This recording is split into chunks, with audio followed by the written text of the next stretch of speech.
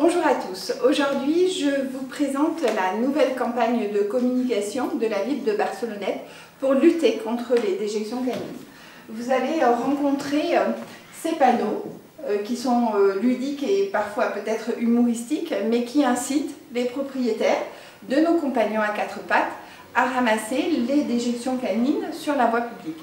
C'est une question de vivre ensemble et nous comptons sur vous tous. Merci.